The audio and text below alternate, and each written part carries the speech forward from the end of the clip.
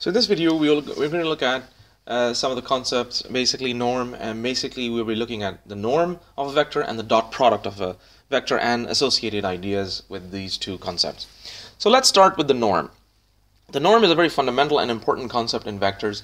It, it is it is a uh, to to go back to familiar um, grounds in R2 and R3 vectors that you're quite familiar with. Um, as we as I said in the previous video, um, a vector in R2 or R3 it has its definition is something that has direction and magnitude. So the norm basically helps us to isolate this magnitude that we are talking about. When, when we talk about Rn, it, it, one can think of this as some form of a measure of vectors. It's some form of a scalar measure of a vector um, of vectors. So the norm is indicated of a vector u, where u belongs to Rn, is indicated by having these two parallel lines around the vector. This indicates that we're now computing the norm of the vector. Now the Euclidean norm, the specific Euclidean norm of, because we are dealing with Euclidean vector spaces at the moment, all the rules and regulations we've looked at are for Euclidean vector spaces. So the Euclidean norm of u is simply u1 squared plus u2 squared plus up to un squared. Okay, so it is simply taking the uh, the sum of the squares of the components of any vector. So this is called the norm of the vector, um, or the magnitude, as, you, as I said. Quick example would be, suppose we have u equals 1, 5, 7, and of course this means we're dealing with R3, okay, then the norm of u is simply the square root of 1 squared plus 5 squared plus 7 squared so it's equal to go to square root of 75 okay so it's equal to the square root of 75 so that's it's as simple as that. It's as simple as that. So just calculate calculating the norm of the vector. Let's look at some quick properties associated with the norm. Um, assuming that the vector u belongs to Rn as above and k is a scalar. So k is a scalar.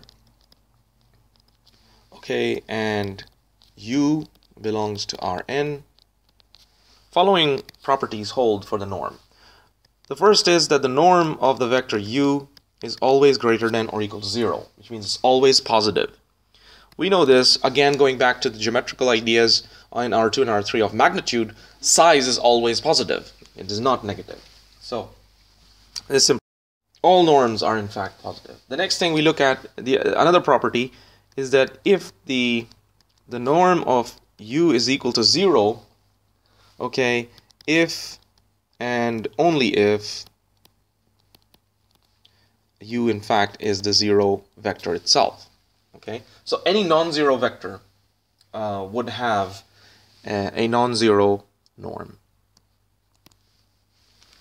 Okay.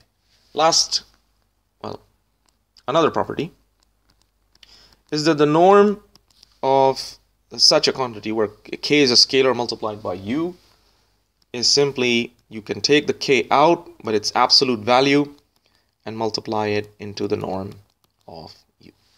So a vector with norm 1 is called a unit vector.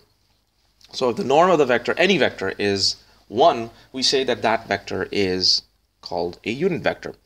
Uh, reasonably straightforward concept, um, but it can be extended to any vector, in fact, in a way, which, which le leads to the idea of normalization. Okay, normalization of vectors.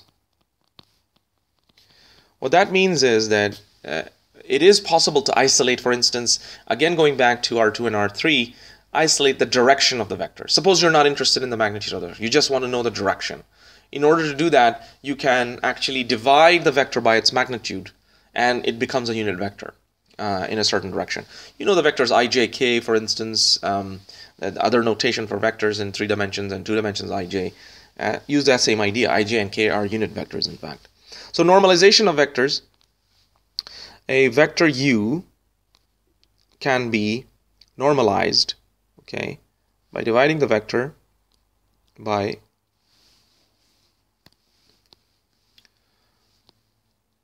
its magnitude.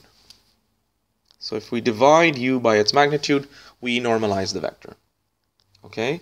So if you were to take the norm of this vector, it would be clearly 1. So for instance, example, if you have the vector 1, 2, 3 in R3, the norm of 1, 2, 3 is the square root of 1 plus 4 plus 9 is, square root 14. So if I were to divide 1, 2, 3, multiplied by 1 over square root 14, it would become, its norm would be, of course, 1. So I've normalized the vector 1, 2, 3 in this manner.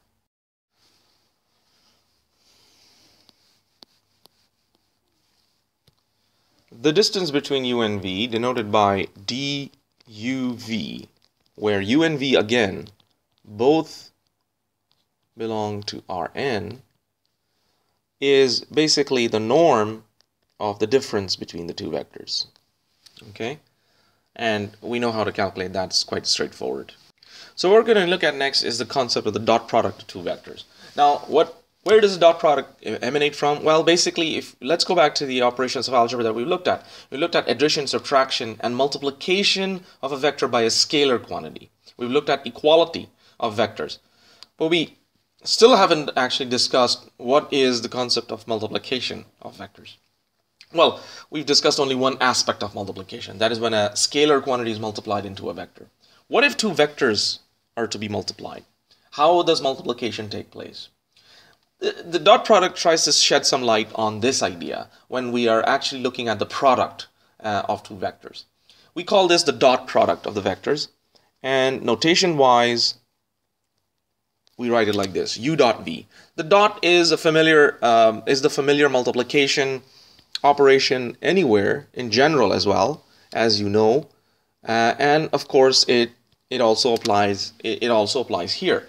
However in multiplication of numbers 2 dot 3 is sometimes just written as 2 times 3 or x dot y is usually written as xy however this cannot be done in terms of in vectors whenever we talk about the product of two vectors, u dot v, we usually don't drop this uh, dot. So the Euclidean inner product.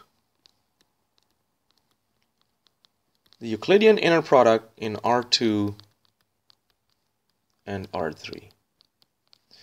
So the Euclidean inner product in R2 and R3 states that u dot v, in fact, is the norm of u multiplied by the norm of v into cosine of theta, where theta is the angle uh, between the two vectors u and v. So here, geometrically in two dimensions, for instance, if this is u and this is v, then, the, then this is the angle theta between u and v.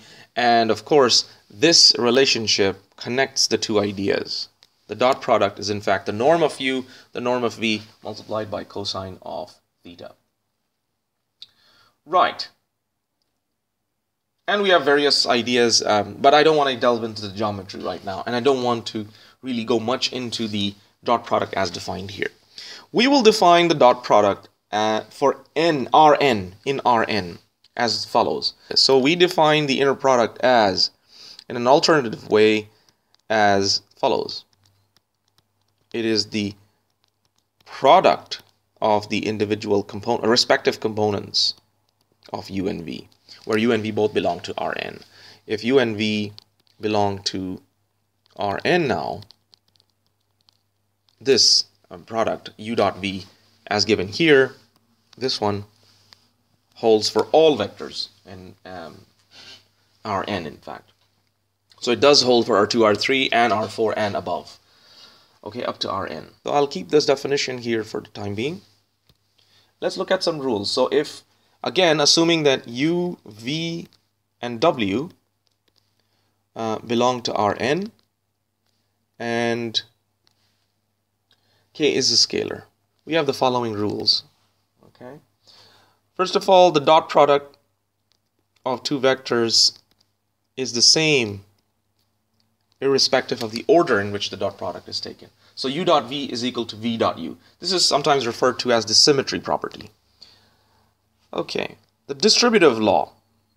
There is a kind of distributive uh, property as well, just like in algebra, which is when u dot u dot v plus w, for instance, is u dot v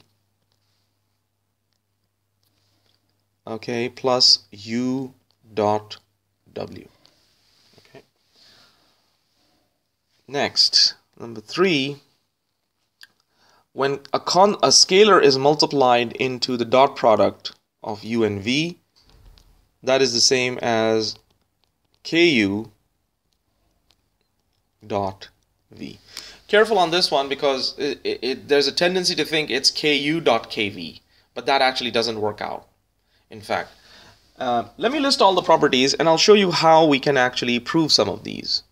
Um, the last property uh, I want you to keep in mind is that v dot v okay is always the, the the inner product of v with itself is always greater than or equal to zero. And if v dot v equals zero it's if and only if v in fact is the zero vector okay? So these are some of the some important properties that uh, of the dot product that you should be familiar with now I, I would like to demonstrate how we could quickly prove uh, one of these and the one I want to look at is for instance, k times um, u dot v. So k times u dot v is basically just k into u1 v1 plus u2 v2 plus dot dot dot up to un vn. If you multiply them through, then it's like this, k1 u1 v1 plus k, sorry, not k1, k, k, pardon me, okay so we end up with that. And and um, now you can actually group. You can only group these for instance either this or with v.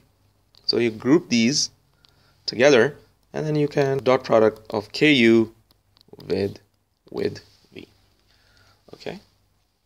Now by the way just to keep in mind uh, this is also equal to it's either this or it could also be written as u dot kV. Concept is the same. It's these equivalent ideas.